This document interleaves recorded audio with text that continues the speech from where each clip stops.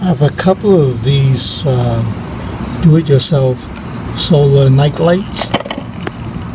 So, and the small solar panels that I use, I got them from RadioShack, and it's been a year now, and you can see the solar panels are still in good shape. There's no oxidation, uh, no problem with it. it. It looks it looks new.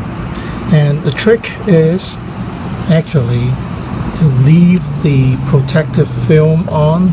I never peel this off.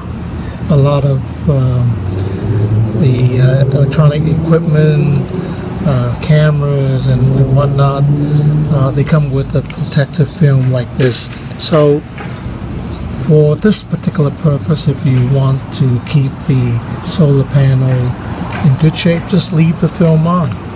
Uh, somehow it prevents uh, the oxidation. Maybe uh, there's some UV protection. I don't know.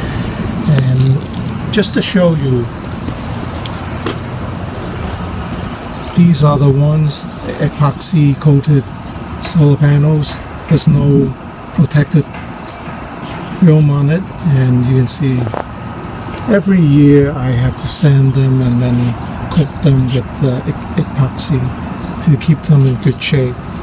This is a do-it-yourself solar panel here and there's a plexiglass and you see the cells inside they are still very good. They are like uh, almost like new and this is probably an 8 to 10 euro do-it-yourself solar panel.